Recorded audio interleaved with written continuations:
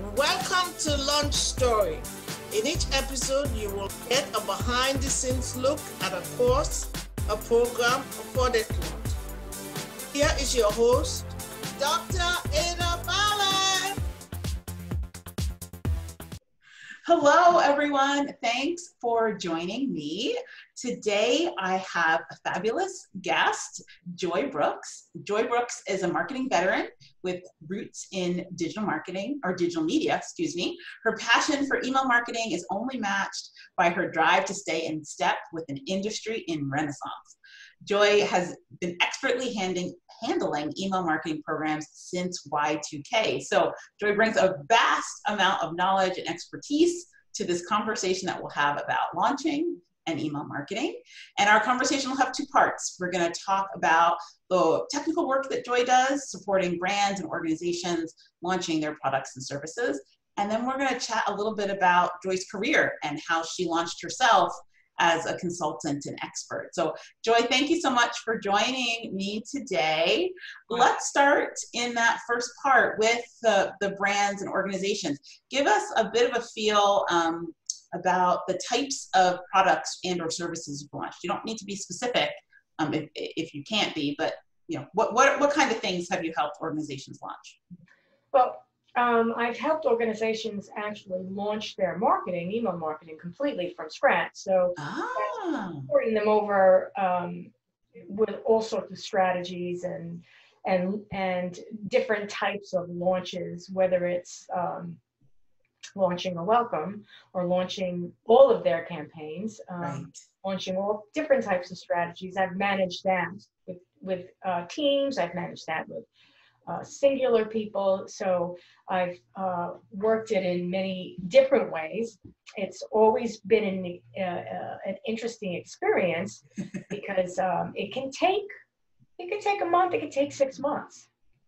Yes. You know, it can take quite a while to get all their products online and to get them to a place where they're comfortable. I've actually launched one company two times. So ah. I've taken them um, from um, one ESP from Act-On over to SharpSpring, from SharpSpring over to Klaviyo. So um, I've done it with ESPs. Um, I've done it just with companies, you know, giving them a strategy and letting them walk away with it as well. Right. So it's um, always interesting to do win backs, um, to strategize about them, to actually plot them out and then create them and launch them and babysit them and um, tweak them and you know continue to um, manage different types of um, journey launches. Uh, yeah. You know, cart abandonment, just developing um, a segment to see if a segment is there to you know to, to work a journey to launch it. So right, many right, um, strategies that are required when you launch um, in email marketing yeah, that's a great. And I feel like sometimes people use the word launch in so many different ways. In many of my other episodes that I've recorded, we've been talking about um, the launch as the process of bringing a product or a service to the marketplace. But I feel like you're bringing the to my attention and everyone's attention that's watching the really important idea or um, perspective on how bringing an sort of an automated, organized email marketing program into the world is a launch in and of itself, even, um, even if maybe the, there isn't a particular offer at the end, having that process of, you know, how does this organization approach email marketing? How do we set it up? How do we provide really great experiences for our new subscribers?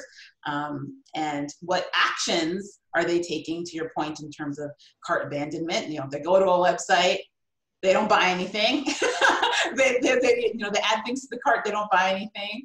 Um, you know, what do we do next? Or in terms of win back, it's like, okay, they, you know, been working with us, we're excited. They kind of ghosted, for lack of a better term. how, how, do, how do we re-engage this conversation? So that's a really interesting perspective. I've never looked at it that way, but you're so, so right. What do you feel like, and this might be a hard question, putting together all of your years of experience, what do you feel like are the things that organizations get wrong? when they're looking to start this process. The conversation I had uh, just today on LinkedIn, whereby somebody said that uh, business owners don't stick with programs. Ah. So they'll say, "Oh yeah, I agree to this." They'll go a month or two into it. Oh, it's not working, and yes, just they'll leave it. They'll leave it. Wow. And they may not be measuring it properly. They may not- Mm, they may not have attached a value to an email uh, contact, or they may be watching conversions. There may be um, no easy way to identify a contact with a dollar amount for Mhm. a company.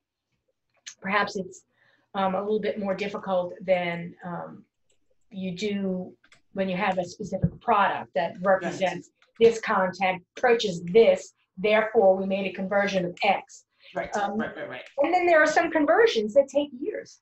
So, you know, if, if you're buying a, a notebook and a pen as opposed to property Right. or, um, you know, um, a car or, a, you know, a, a train or, you know, any large, you know, welding equipment, things of that nature, if you're doing those types of things, the conversion is different. Sure. And it's somewhat difficult to track. Yes. So, Yes, yes, um, abandoning marketing, I think, is painful, and I see it too often. wow. They'll do that because they can't attribute anything to, to the effort, and sales is leading the way.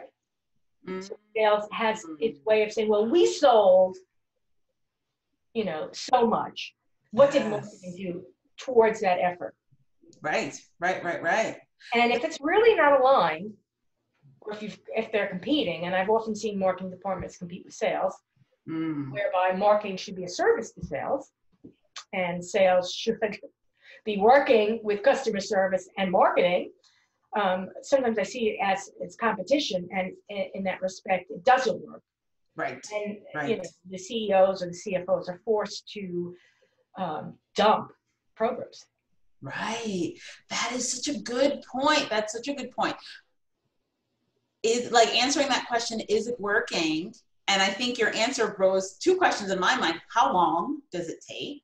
And this really important part of attribution, like how do we say when we do have a success, when we do get that conversion, we get that new client, whatever happened, wh- wh- how do, who do we give credit for that?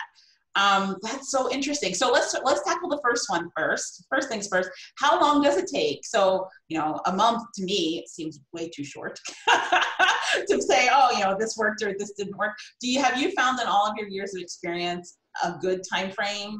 Does You know, I usually I like three months, three months. Okay. and then increments of three months after that. So what I'll do with a company is, for example, um, I launched with a client that had no website that really was stripped of everything and wanted to do email marketing Yeah.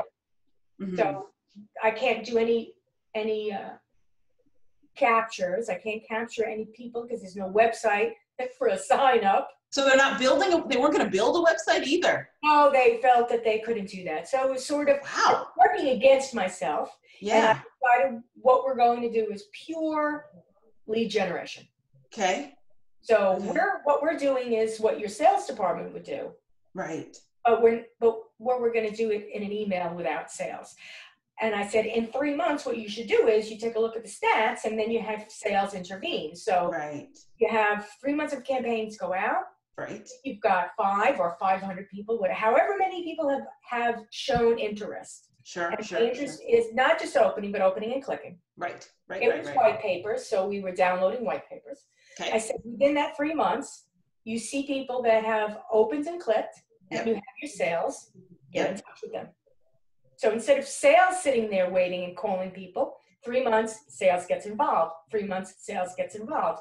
Well, it was three months, and um, I said, you know, it, it, was a it was a purchase list, which is a no-no in email marketing land. Yeah, I was gonna ask where are these people if they don't have an email, where are they coming from? So yeah, that was my that was my fear. Okay, yep. So um, within three months, there was a list of 13,000, and maybe we had, honestly, maybe ha- we had 20 people of interest. But, Wow. but Okay. In this world, in, in his particular world, Yes. 20 people could be hundreds of thousands of dollars. Wow. Okay. Okay. Yeah. Okay, so we, again, we, we're not talking about pens. Right. Right. We're talking about high end investing. Sure. Sure. Sure. Okay. Sure. So, so he really had some meat to go for. And if he had followed through, he had trust in the program, Right. and he had sales follow through, he may have he may have converted. So that's But he felt that he felt Yeah. that there was no purpose that it, that you know 20 out of 13,000 was dismal.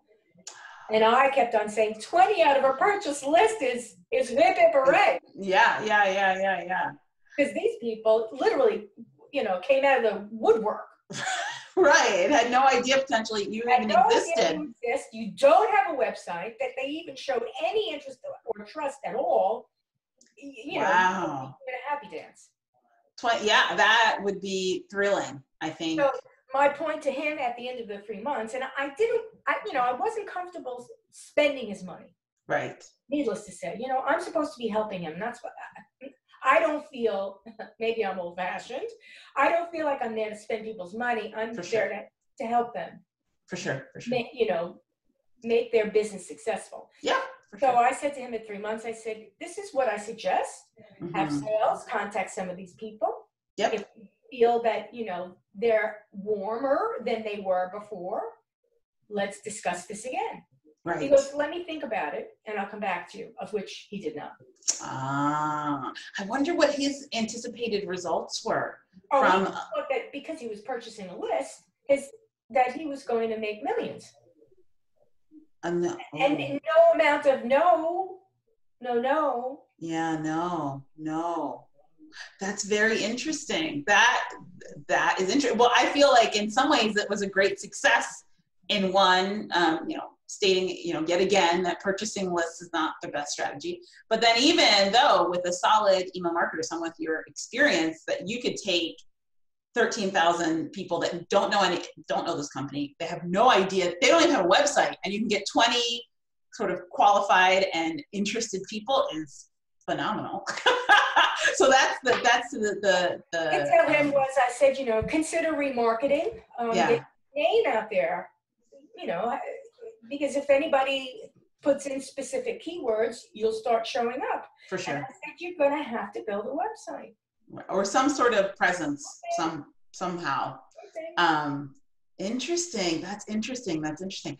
But what i also think is fascinating is you know what got us on this this trend in general this three month plan. So three months honestly i wasn't in my brain thinking i knew a month was too short as i said earlier but three months wasn't really on my the tip of my tongue but as you explained what's happened and i'm reflecting on my own experiences i'm like yeah three Yeah. months is a great amount of time to try something and see what the results are. And i love your this cyclical approach that you're recommending. It's what i recommend to the people i work with as well right? It's not like a set it and forget it thing right? When you when you launch something um, when you put a new marketing program or a new course or new product out in the world it's not like you tell people once and you're just like yay all the money comes.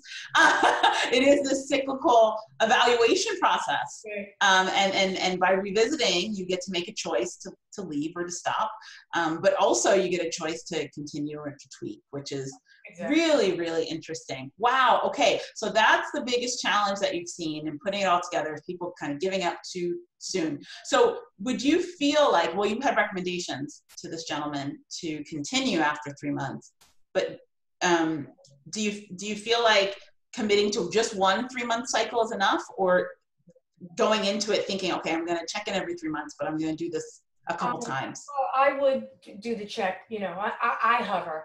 I'm a big hover person. And I, I don't let, I don't even let it go.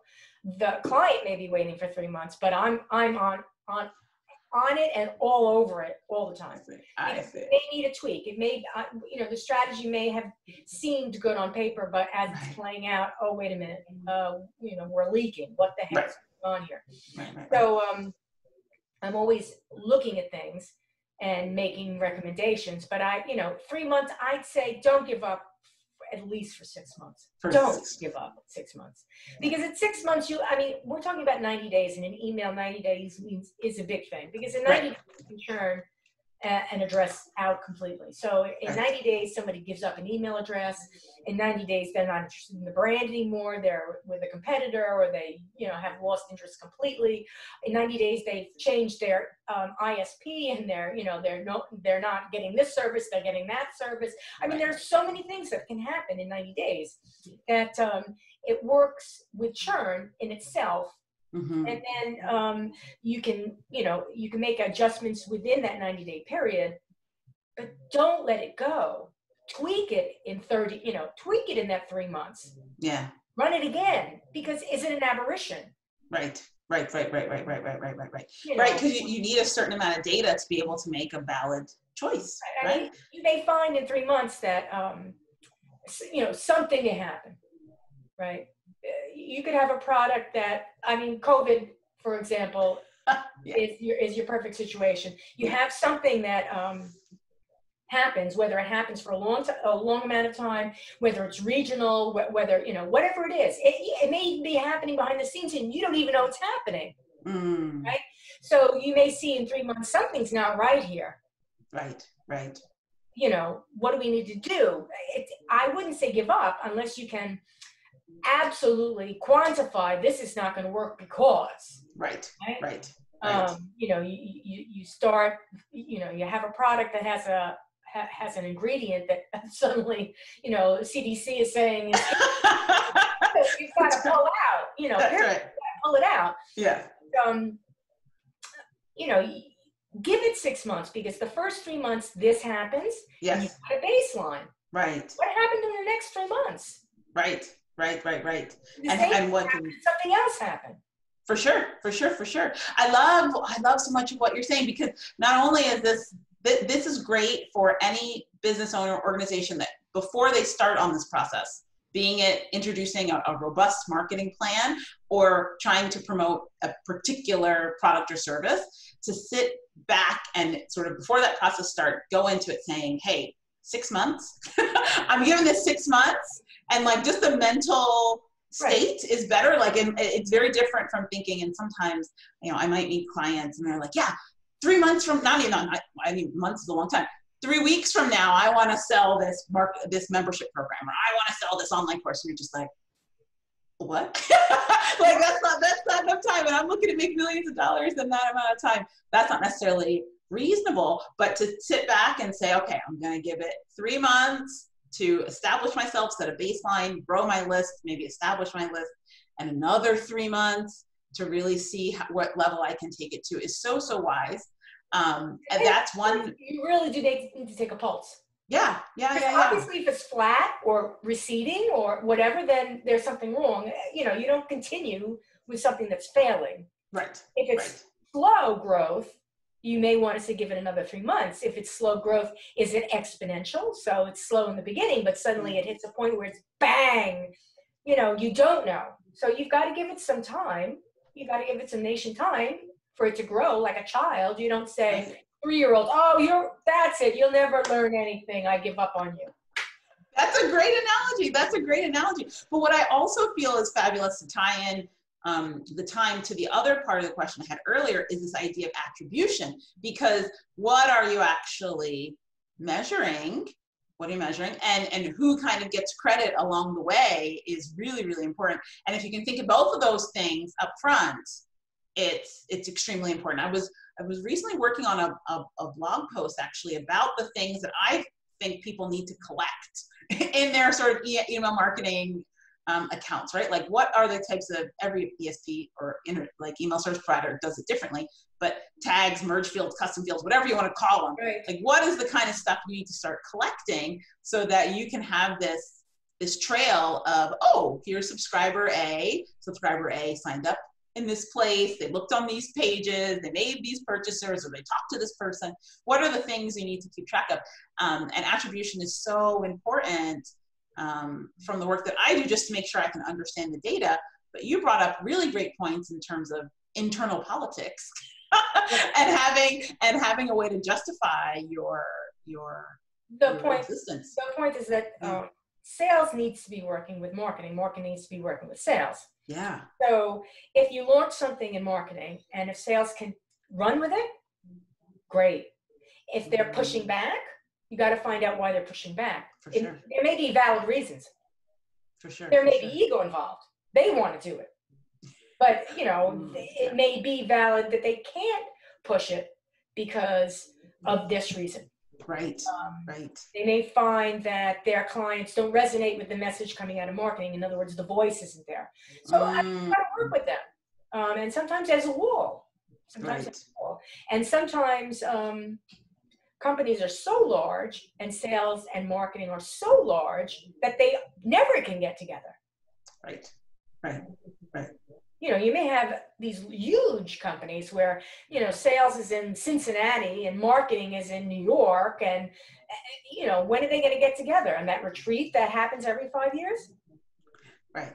So I can, you know, I- there's there are valid reasons why marketing marketing doesn't always work. Mhm. But my point is that it, for it to really work, you've got to take all of the pieces. And sales is a component of marketing.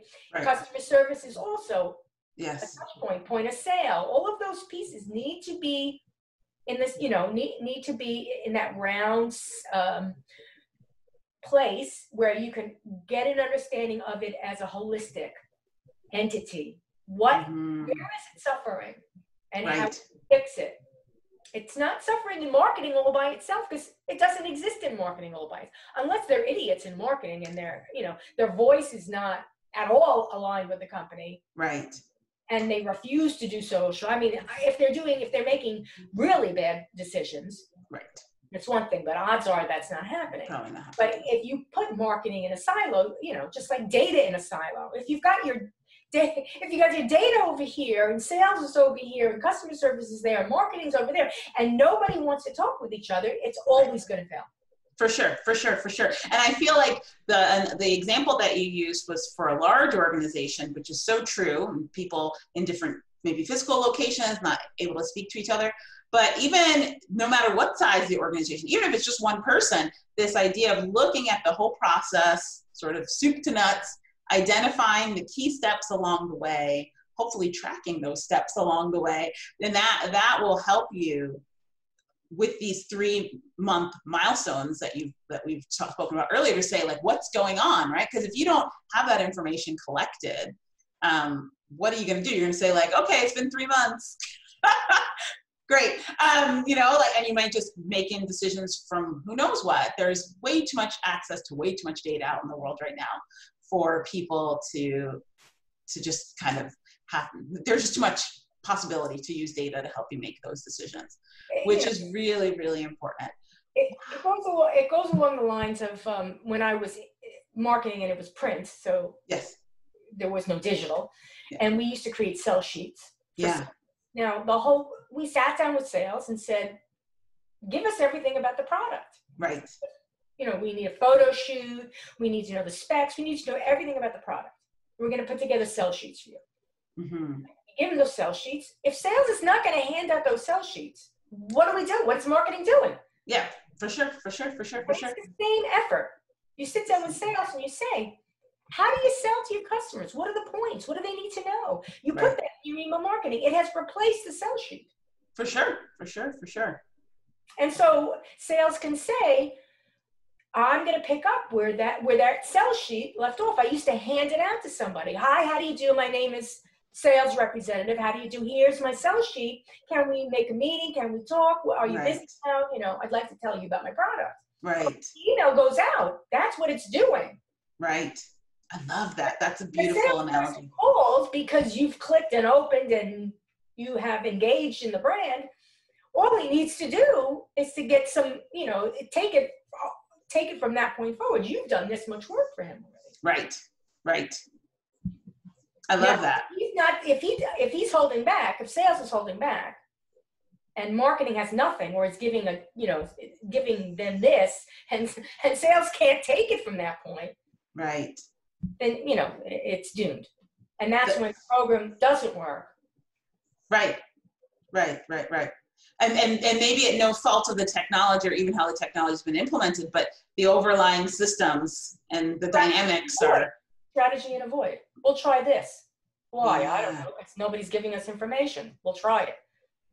Interesting. But I love how this idea of, I've never thought of it before, of taking a sales sheet and almost, especially through a, an automation or a journey, you're almost delivering the pieces of the sales sheet that are most relevant at the right time, right? And then this additional benefit, which is so beautiful, of, you know, hey, I've given you the sales sheet in the right order, how based on your actions, et cetera, through this email marketing campaign.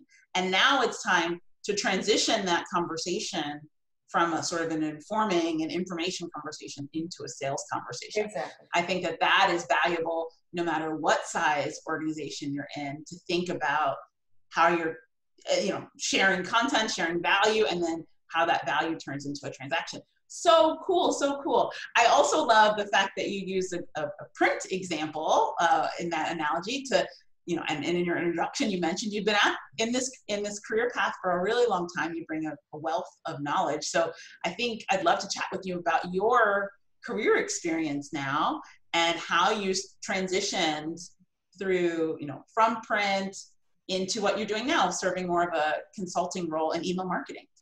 So yeah, so it's pretty interesting because I, you know, as I as you said, and as I as the truth is, that year 2K I was doing risk, risk management for a printing company. Mm-hmm.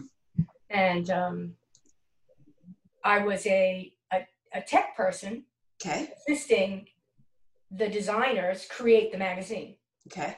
okay. And we had a, a, facility full of machines, and we were all wondering what, what is going to happen year 2K.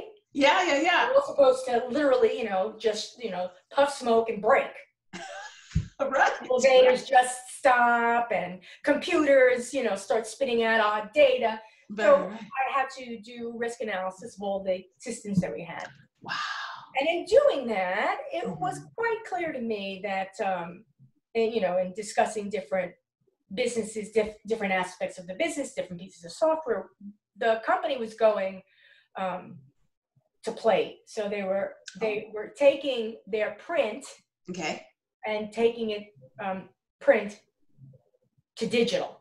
Okay. So okay. it wasn't going to be done on a you know on a on a physical print uh, plate anymore, and you know churned out as a magazine. Wow. It would become um, a digital product, and it would also become a digital process that would de- develop the film to make the magazine. So everything Ooh. was going digital. Big change. It, it yeah. wasn't it wasn't a leap of faith to realize, well, why are we even making film? Why are we doing right. Right, right, right. Point, literally the business was sold a year later. Wow. Now, because I was in print, every job I went to, there was always that situation where, you know, we start off, we're doing print, eh, we're not doing print anymore, we don't need you. Mm-hmm. So I was mm-hmm. getting laid off constantly in that right. year 2K to 2005, six okay. situation where, you know, do you know digital? And um, it was a risk, you know, I, I, I could do digital. There's not a lot of digital out there, but you know, whatever it is, I'll see what we could do for each other. Yes. We're like, well, we never heard of these companies, you know, these are brand new. Everything was brand new. Everything right. Was it was beginning. So um, I did a few of those, learned a lot, and realized that um, unlike a friend of mine who said, "Oh, this is just a fad," yeah. yeah. I thought, "Wow, you know, I, have got to get out of this industry. It's going to kill me." Right. And the things that I realized in the process was my career was not in my own hands. I was constantly getting laid off. Mm. I wasn't able to control my own career. Right. Um. You know, literally I would ha- I, I would have to be my own boss. Right. And being a solopreneur at that point in time, there wasn't even a word. It was mm. you were a freelancer. You were okay. out there. And the big fear was cash flow. For sure, for sure. So there I was thinking to myself, I'll moonlight for a little bit. Okay. I'll see what I can do. If I get laid off here, I'm still moonlighting mm-hmm. which is exactly what happened. I got laid off. Wow. And this is after the transition to digital. So you, you transitioned to print. Now I'm in print. I'm sorry, now I'm in completely digital. And now you're in digital. Oh, yeah. wow. Okay. Websites. I'm doing, you know, um, everything that that used to be done in print, I was doing on the web end. So sure, for sure. Whether it's um, you know taking uh, you know photographs of images and uploading the images for stores, things of that nature, I was doing all of these things for companies. Okay. But um, it being still in such flux, right? Where literally big companies are eating little companies and little companies can't maintain themselves because mm-hmm. they may mm-hmm. have be they may be going into this new technical age but they weren't built for that and i mean it was things were just changing so much in in or around you know the yeah, 2000 yeah. and 2010 so um i got laid off um and i just said i'm not going to look for a full-time job mm. and at that point in time it was craigslist wow which was big and it, yeah it wasn't so much of a scam in, at that point in time. It was actually, um, oh, you know, I, I, I, got three jobs out of Craigslist. And I was literally getting lots of interviews with Craigslist. And I was networking with everybody and everything I could network with. So I found mm. organizations that met. Yeah. I would go to meetings. Um, yeah. Meet people. I got on the board. Yeah. I just did as much as I could do to get my name out there. Not okay. the brand, because I realized I couldn't sell myself, I couldn't do the work, I couldn't strategize, I couldn't do all of these things myself. Right, right, right, right, right. And I didn't like that end of the I don't like selling. Okay, okay. And I can talk about email marketing is because it's proven and it's true. But if you have to put me in a situation where I, I need to sell something that mm, I can't do it. I can't make believe I'm into something I'm not into. You know, I am into email marketing because it works. It works. I'm not selling it. I'm telling you the truth. Right, right, right. So I um did everything that I could do to to punch my own skills up. I went back to school. I got a degree in um in, in programming. I Wow, okay. You know, I relearned HTML programming for email marketing. Right. I started developing campaigns. I started, I was, I already had print, so right. I knew how to write. I knew how right. to edit. I knew how to um, manage a calendar. I knew sales. I knew all of the things that are really inherent in email marketing because it's really part of print. Mm-hmm, mm-hmm. And um, I took it on the road, and I was lucky to end up working for some agencies. Okay. Um, at that point in time, I don't think you could make completely on your own. I worked for a few different agencies, and the agencies fed me clients, and yeah. and I kept those clients for a really long time. I had some clients. I've had some clients for over ten years. Amazing, fantastic! Wow, what a journey! So yeah, it's been quite. You know, the launch of my own, the, launching myself as a solopreneur, and that word, what the word is maybe five years old. Maybe. Right launching myself as a solopreneur is a different is a different concept because a lot of people will say, "Well, who do you work for?" Uh, yeah. Well, yes. You, you, know, what's your the name of your company? Well, it's really it's a skill. It's a skill set. It's I don't have a company. Right. There are entrepreneurs that may um, build a brand around themselves. I I'm the I'm the concept of I have a skill set. That's what I'm selling um, you know, I called it email and coffee. Yes. Because I love coffee, and without it, I wouldn't be able to function. but, know, it's really, you know, I I'm an email marketing specialist. That's what I do. Right. Right. I love. There's so many fabulous jewels of wisdom in all of this, from like being able to see the writing on the wall, and like you know, like looking ahead, and and not only seeing the writing on the wall in terms of the end of your let's say employment, but also back further seeing, hey, this print thing, you know, why do we need film? Like what what the heck is going on? So the the vision is super cool. And then the the courage to go out there and, and do it. Um, and then also the techniques, which are really interesting. You mentioned networking, you mentioned um, you know building up your skill set in terms of education. There are all these different things that you've been able to do and to pull together to create a career for yourself that you're completely in control of.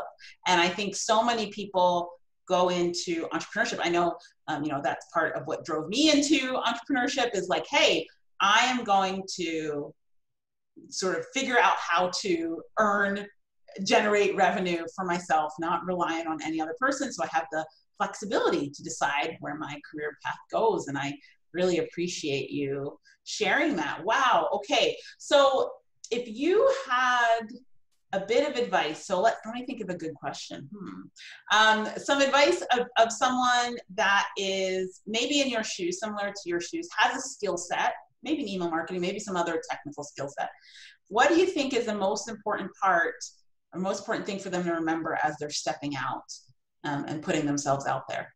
I'd say the uh, learning from my own temperament and um, the business. Yeah one of the things, the mistakes that I made yes. was perhaps getting frustrated angry. Oh. Um, I think that it's really important. Now, a lot of people will say it's okay to burn a bridge. Okay. But um, I'd say you don't know about that bridge. Interesting. The bridge may have a village next to it with a kingdom and fields, and you just burn the whole kingdom to the ground. Yeah. You yeah. don't know when you burn one person if they are affiliated with other people. Right. And I'm not saying that you can't stand up for yourself. Mm-hmm. I'm not mm-hmm. saying that you don't let people know when something's wrong. Right. I am saying be careful.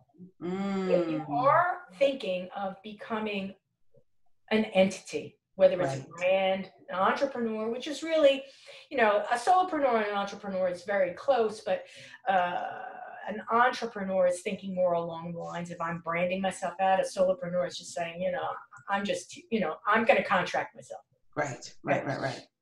I'm here by myself. So um, you've got to think to yourself, how can I set this up so that I'm not burning people because I may need them in 10 years. Right.